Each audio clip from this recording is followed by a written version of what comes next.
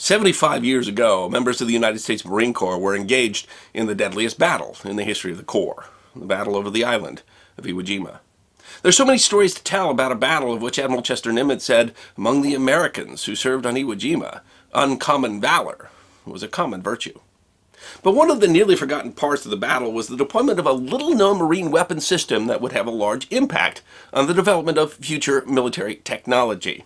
These units were only deployed in a few battles in the Pacific, and yet it was on Iwo Jima, with its barren, treeless, hilly terrain, that they found their ideal battlefield.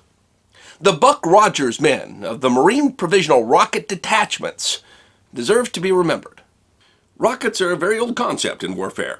The first use of rockets in warfare is a matter of some dispute, but war rockets were documented as having been used by Chinese troops against invading Mongols, at least in the 13th century. Rockets were not uncommon in the Second World War, where they were used on land, sea, and air. For ground troops, rockets offered an ability to lay down a massive amount of high explosive in a very short period of time. They had various advantages over conventional artillery, allowing longer ranges and more flexible payloads, but they were notoriously inaccurate and slow to load. Multiple rocket launcher systems were developed to address those issues.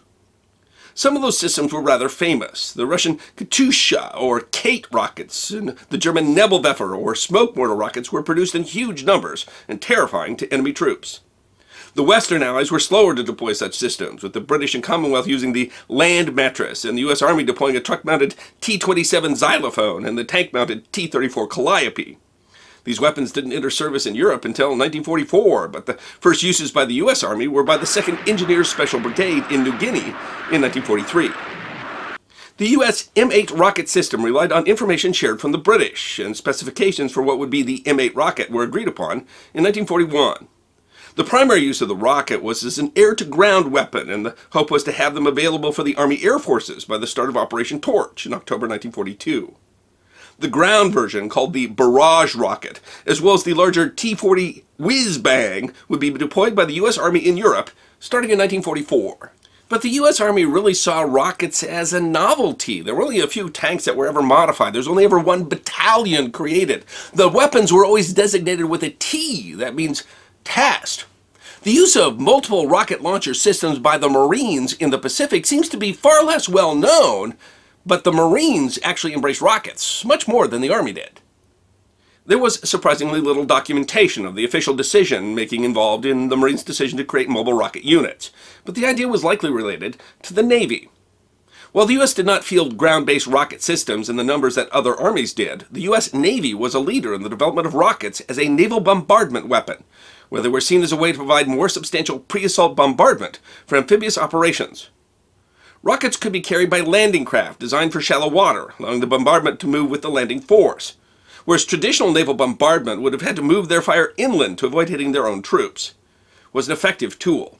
At Iwo Jima, a line of landing ship medium rocket, or LSMRs, carrying nearly 500 launchers each, poured around 10,000 rockets into the beach in a matter of minutes. Being able to fire so close to the landing force caused the defenders to stay under cover much longer. One of the original test facilities for the Navy was off the coast of a Marine base, Camp Pendleton, California. The Marines had allowed the use of the base to test both sea and land-based rockets, and it's likely there that they recognized the weapon's potential. In an amphibious landing, it takes time to land and deploy artillery to support ground operations.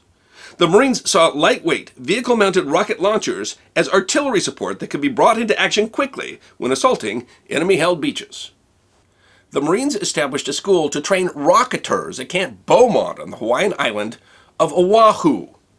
The school was called Rocket School, and the Marines were quick to dub the newly trained rocketers Buck Rogers men. First class graduated in April. A Marine Provisional Rocket Detachment consisted of one officer and 57 enlisted men. The detachments used a modified version of the International Harvester 1-ton 4x4 model M24 truck. While International Harvester produced a number of vehicles used in the war, including tanks and tractors, as well as gun mounts and even weapons, including the M1 rifle, the one-ton 4x4 truck was produced only for the Navy and Marines. The truck had no cab, just a one-piece windshield and two front bucket seats. Three box-shaped launchers, each holding 12 rockets, were mounted over the rear axle.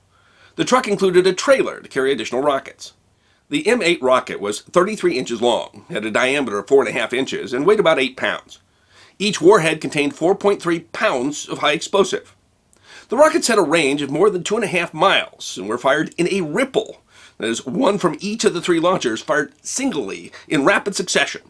The technique was helpful in reducing the blast effect on the next rocket.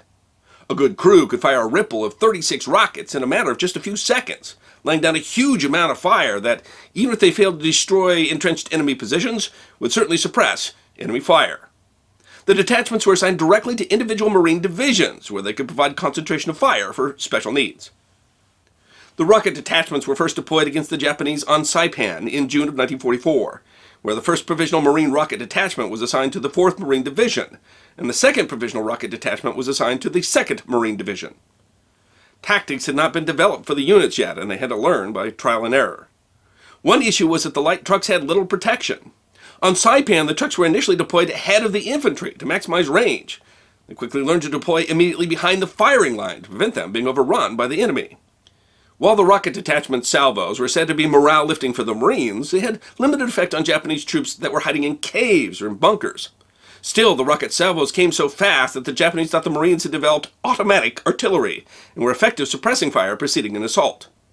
Despite the fact that field commanders were largely unaware of their capabilities, units were so popular that they suffered from a shortage of ammunition on Saipan and had to borrow from their naval counterparts. While the rockets laid down a lot of fire, they also made a lot of smoke and usually drew enemy counter battery fire. This became the basis of a love-hate relationship between the infantry and the Buck Rogers men.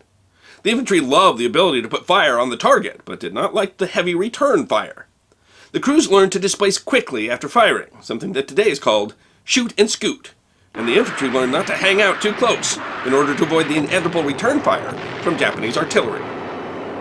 Based on their experience in the field, Marines modified the small trucks by reinforcing the tailgate to serve as a blast shield and installing a hydraulic jack to raise and lower the launchers. Gunnery Sergeant S.E. Estes developed a gravity quadrant that could be checked quickly with his gunner's quadrant, allowing more rapid elevation adjustments. Five provisional rocket detachments were outfitted by the end of 1944, and a sixth was outfitted in July of 1945. All six saw significant service, and the detachments were used throughout the island campaigns, but it was on Iwo Jima, a treeless, hilly island, that their short range, steep angle of attack, and ability to put fire on target found their ideal battlefield. For the invasion of Iwo Jima, the 1st Provisional Rocket Detachment supported the 4th Marine Division, while the 3rd Detachment supported the 5th Division. A section of four vehicles from the 3rd Detachment landed on D-Day seven hours after operations began, on Red Beach. The beach was a dangerous place, filled with vehicles lost to the surf, the heavy black volcanic sand, and enemy fire. But one vehicle reached its firing position intact and immediately proved its worth launching a salvo of rockets against Japanese fortifications along the slopes of Mount Suribachi, detonating an enemy ammunition dump. The detachment subsequently supported the 1st Battalion of the 28th Marines as they advanced to the summit. It was dangerous work. Benjamin Sirigliano enlisted in the U.S. Marine Corps in October 1942 and fought in the Battle of Tarawa. He was carrying a Browning automatic rifle when he was wounded in the Battle of Saipan, waking up in a hospital in Hawaii and not remembering how he got there. He requested reassignment to a heavy weapons company and became a Buck Rogers man, assigned to the 1st Rocket Detachment with the 4th Marine Division. The detachment landed on D-Day plus one.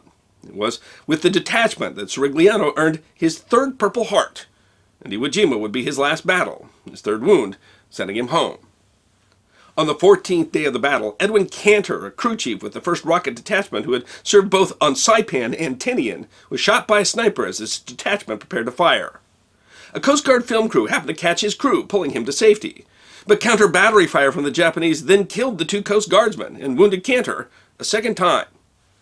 The film, however, survived, and the scene where his crew was dragging him to safety was included in the John Wayne epic, The Sands of Iwo Jima. Cantor survived, received a Purple Heart, and a ticket home. The rockets proved their value on Iwo Jima. Because of their steep angle of fire, they were particularly good at defilade-to-defilade fire, or firing from behind the crest of one hill to the reverse slope. Valuable work on a hilly island, as Marines had to assault over those hills. In all, the two detachments on Iwo Jima fired over 30,000 rockets. The 4.5 inch rockets weren't actually the only rockets that were used by the provisional rocket detachments in the Battle of Iwo Jima. Late in the battle, they were issued some of the much larger 7.2 inch whiz bang rockets. Those rockets were too large to mount on a vehicle, and so they were towed on a sled behind a tractor or a tank using an improvised 20 tube launcher. They could lob an impressive 650 pounds of high explosive in a single salvo, but even they proved unable to dislodge Japanese who were dug into mountain tunnels. And the Japanese had their own rockets on Iwo Jima, the spin-stabilized Type 4 20-centimeter rocket launcher. It was used to some effect, but the Japanese essentially used the launcher like a mortar, not as a multiple rocket launcher. The detachments learned quite a lot on Iwo Jima, not just about tactics and the modifications they made to the vehicles, but also about things like personnel and supply. The original detachments had not been assigned men to serve as ammunition carriers, which put extra stress on the rest of the crew, and the detachment commanders realized that the vehicles and their ammunition supply had to be given a higher priority in the landing order. But as Marine Major Andrew F. Mazzara noted in a 1987 history of Marine artillery rockets, in a relatively short period of time, they'd acquired a weapon system that was unlike any other weapon heretofore used by the Leathernecks in combat. The systems were improved with greater range and accuracy. Rocket detachments went on to serve with the Marines in the Korean War and continued to serve today in the form of the M142 High Mobility Artillery Rocket System, or HIMARS. While they weren't exactly the best known weapon of the war, the Marines of the Provisional Rocket Detachments provided valuable service in the island campaign and developed strategies and tactics that continue to affect military thinking today.